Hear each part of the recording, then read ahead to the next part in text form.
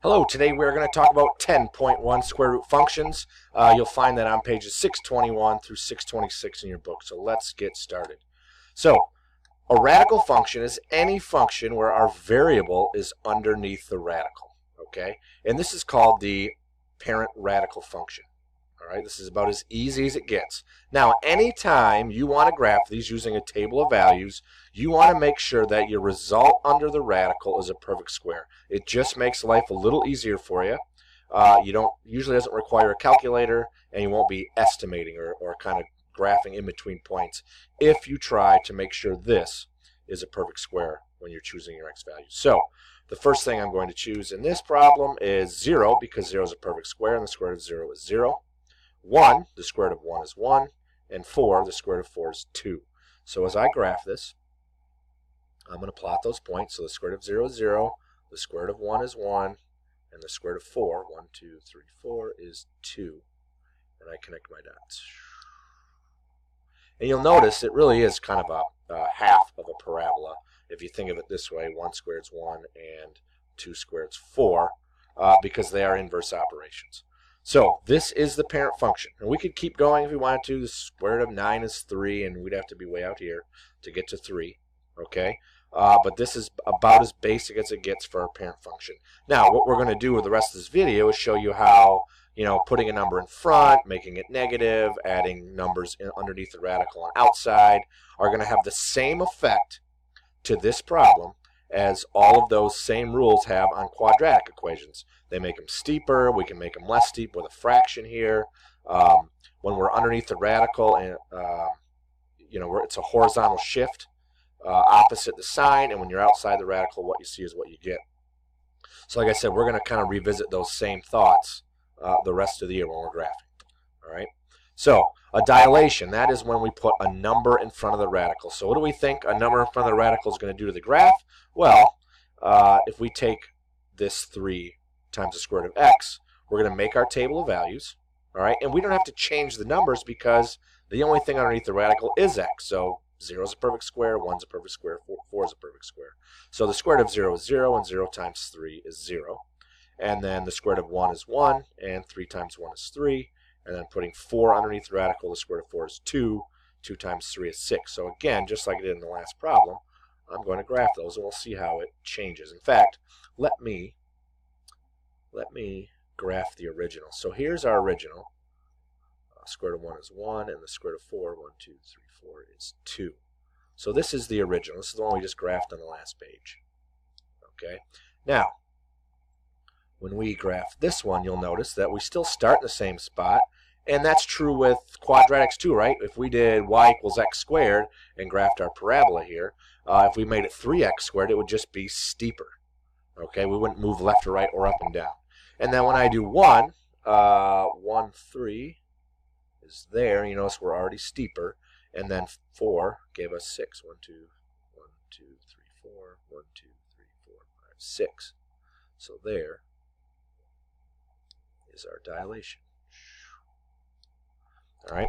So again, all a number in front does, if it's positive, is just make our graph increase quicker. All right. And just a quick review, our domain for these problems, uh, when we haven't moved left or right or up or down, our domain is x is greater than equal to 0, and y, our range is y is greater than equal to 0 for both of these. This one just happens to increase quicker. All right. Now let's take a look at what happens when we flip the problem. So this actually ends up turning our radical graph, uh, reflecting it across the x-axis. So again, I don't have to change what numbers I pick because x is alone under the radical. Square root of 0 is 0, and negative 3 times 0 is 0. The square root of 1 is 1, and 1 times negative 3 is negative 3. The square root of 4 is 2. 2 times negative 3 is negative 6. So I'm going to plot those. And we get 0, 0. We get 1, 1, 2, 3. And we get 4, 1, 2, 3, 4, 1, 2, 3, 4, 5, 6 right there. And oh, that's terrible. Sorry about that. But that is our graph. remember, if you recall from the last page, whoops, I don't know what I just did. Went forward one. There we go. If you recall from the last page, uh, it looked like this, actually. This. Ignore that guy. And there we go. So all that negative did was reflect us across the x-axis. Now, here is where we put it all together. All right, so we have the a times the square root of x minus h plus k. Remember that underneath the radical, or in the function, as I said in the last chapter, that underneath the function is a horizontal movement, and it's opposite the sign. Okay, and then outside is a vertical movement, so vertical translation, and what you see is what you get. So um, we'll take a look at this, all right, and we get, if we think table of values, and this is where it's got to get slightly different, okay? Remember, I want the result of this adding 1 to be a, a perfect square, all right? So I started with negative 1, so I always want to get that 0 perfect square. So negative 1 plus 1 is 0, all right? And that is a perfect square. The square root of 0 is 0, and then we multiply by 2, we still get 0, and then down 3, so subtracting 3. So what that point is, that is right here, negative 1, negative 3. 1, 2, 3. Right there. Okay? Now, I'm going to plug in 0 because 0 plus 1 is 1, and the square root of 1 is 1. 1 times 2 is 2, and 2 minus 3 is negative 1. So I'm right here. And then I plug in 3 because 3 plus 1 is 4. So I'm still thinking 0, 1, and 4. I just got to, you know, adjust the numbers so that I get 0, 1, and 4. So 3 plus 1 is 4. The square root of 4 is 2.